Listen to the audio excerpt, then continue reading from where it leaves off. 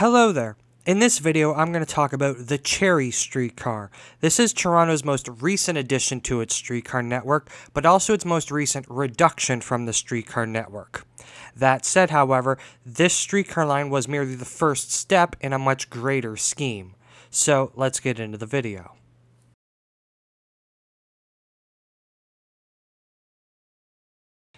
The origins of the Cherry streetcar can be traced back to the development of the Portlands area. For most of the city's history, the area defined as the Portlands was the center of Toronto's industrial sector, being the home to many factories, warehouses, distilleries, and other such businesses. It, as its name implies, was also the location of the Port of Toronto, which connects the city's industries to the rest of the Great Lakes cities. Portlands were also the central hub for railway traffic in southern Ontario, so the combination of a vast industrial area mixed with an almost endless expanse of railway lands made the Portlands both an almost inhospitable place but also an almost inaccessible one.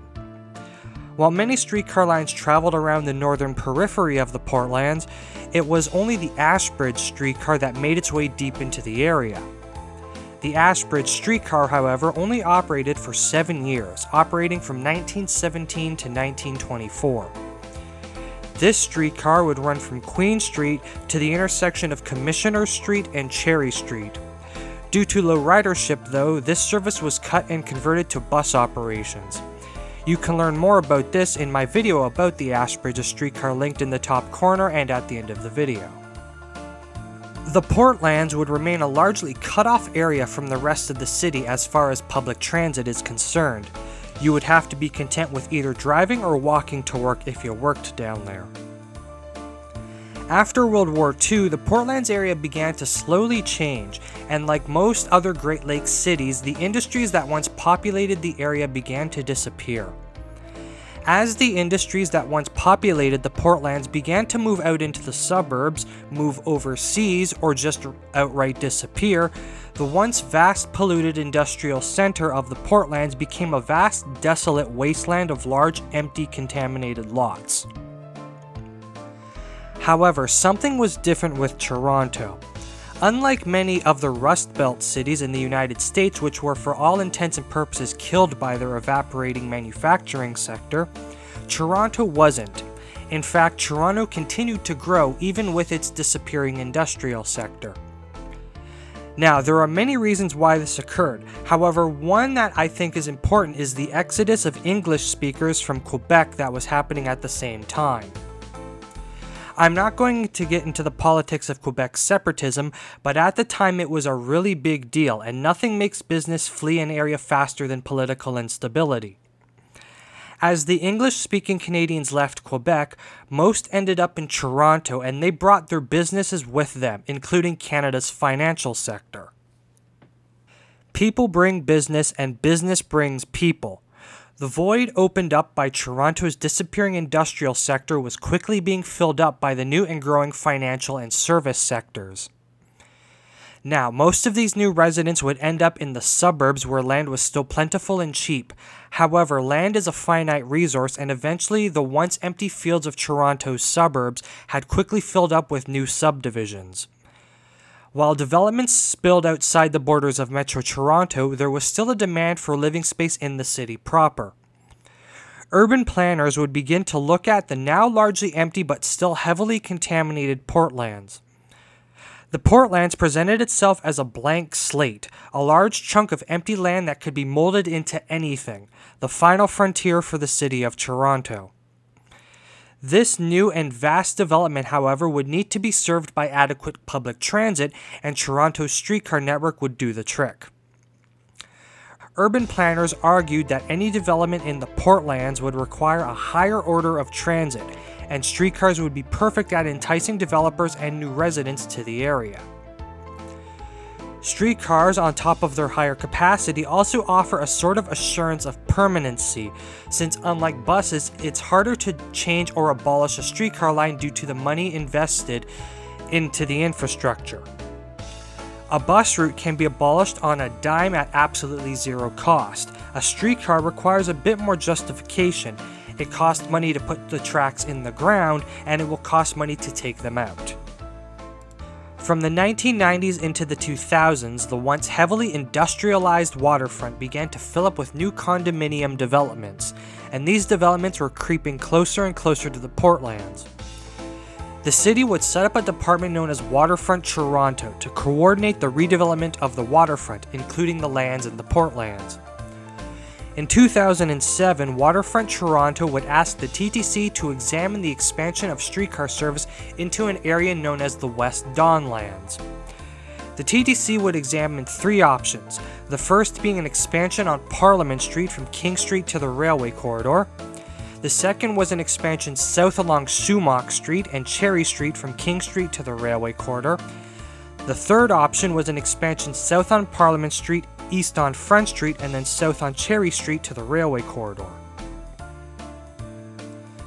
The TTC would choose option 2 as this line would be closer to both the newly planned development in the area as well as the distillery district, which by this point had started to become a popular shopping and tourist area. Cherry Street would also offer an easier expansion deeper into the Portlands area as development progressed. The development in the West Don lands would be confirmed with Toronto's successful bid for the 2015 Pan Am Games. The West Don lands area would be used as the athletes' village and then converted for residential use after the conclusion of the Games.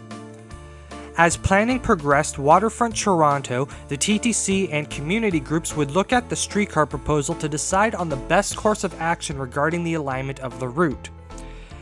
They would examine various options, including building the line in its own private right of way down the middle of the road, like on Spadina Avenue, building the right of way off to the side of the road, running the line in mixed traffic, and putting the streetcar tracks in the curb lanes.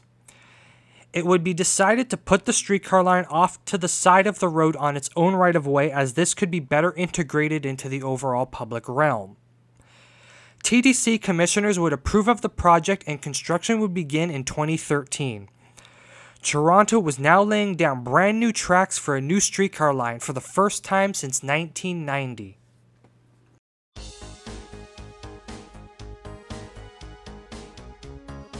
Construction of the new streetcar line would be completed in 2016, with this new section of track running from the intersection of King Street and Sumach Street to the newly built Distillery Loop at the railway tracks. However, even before this, the TTC would begin to contend with the question of how exactly this new line would be served. The area served by this new streetcar hadn't seen any sort of public transit since the abolition of the Ashbridge streetcar. As well, there was no immediately obvious routes that could be diverted onto this newly built line. While the line is connected to the 504 King streetcar, that route is already a crosstown route running from Broadview Station to Dundas West Station. The TTC would briefly consider re-establishing the Parliament streetcar, However, it was determined that the cost to construct new tracks from Carlton Street to Castle Frank Station was not justifying of the route's potential ridership. A proposal to run the 508 Lakeshore streetcar to the Distillery Loop was also examined, but it was deemed the route's infrequent service pattern would be useless to local residents.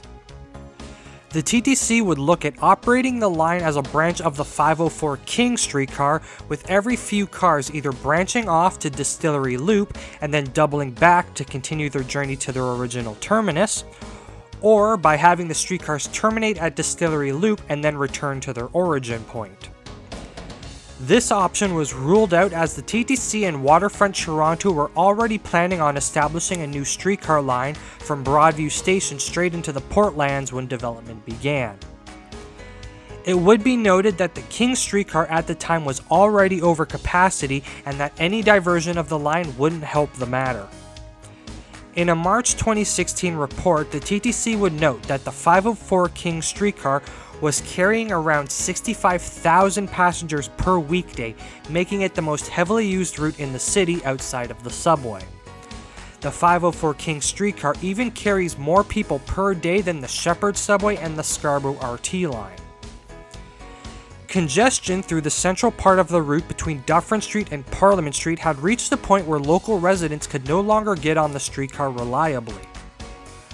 On top of this, the TTC was operating 17 buses during the morning and 9 in the afternoon on the route to help with the overflow of passengers. This fact presented a solution, that being to offer a supplemental service through the central part of the route. This would not only help relieve congestion on the route, but also answer the question of what was to be done with the new streetcar line on Cherry Street. The TTC would examine the creation of a new route running from Dufferin Loop to Distillery Loop, with cars running every 15 minutes during the off peak and every 8 to 9 minutes during the on peak hours. The 504 King streetcar would remain at its normal 10 minute interval. The TTC would also look at rolling out the new low floor Flexity Freedom streetcars on the line, which would make it the first fully accessible east west streetcar line in downtown Toronto. This report would go to TTC commissioners on March 23, 2016, and be approved. This new route would be known as the 514 Cherry streetcar. Service on the 514 Cherry would begin on June 18, 2016, with opening ceremonies being held at Distillery Loop. There, dignitaries from the city, province, and federal governments appeared to give speeches and take the ceremonial first ride. The route was successful from the start and helped ease the congestion on the King streetcar. Service would improve even more in 2017 when the King Street pilot project began that banned through traffic along King Street in the downtown core. Ridership levels on both routes combined would reach 80,000 passengers per weekday.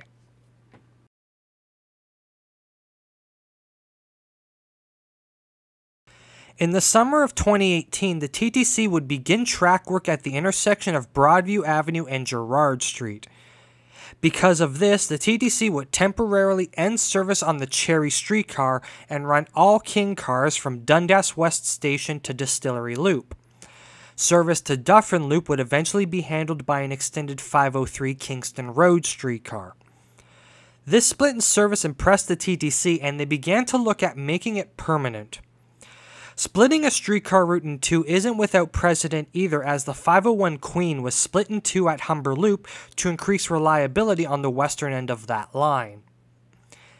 In August of 2018, the TTC originally intended to restore service as normal. However, the TTC Service Department would announce the plan to end service on the 514 Cherry and split the 504 King into two routes. This plan would take effect on October 6, 2018, when service on the 514 Cherry streetcar was abolished, ending two years of service.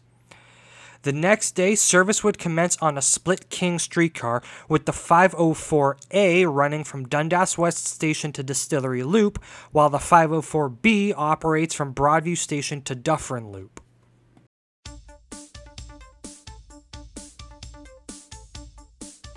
The Cherry streetcar is interesting in that it is a small portion of a much greater plan. The route only lasted two years, yet it is always possible we will see the route again in the future.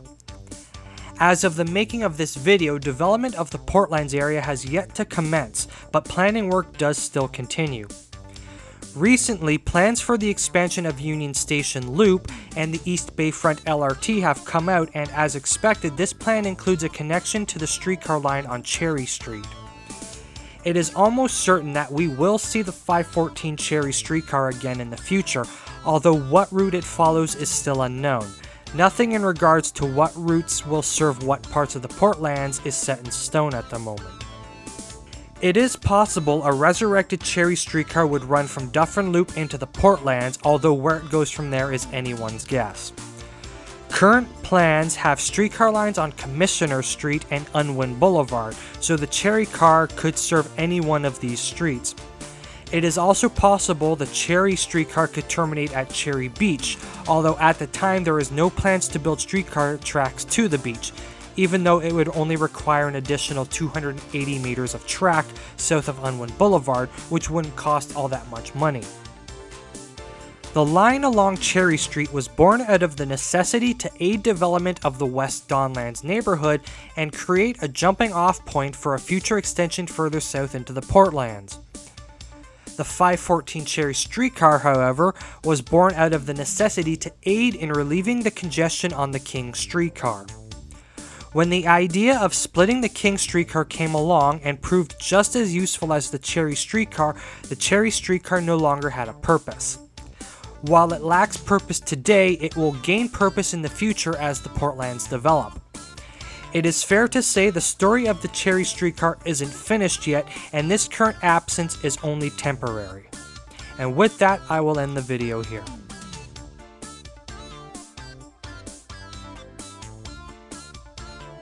Thank you for watching this video, and if you enjoyed it and want to see more like it, please hit that subscribe button because there are more videos like it on the channel, and there are more videos like it on the way. If there's anything you want to say about the Cherry Streetcar, don't be afraid to do so in the comment section down below. And with that, I'll see you in the next video.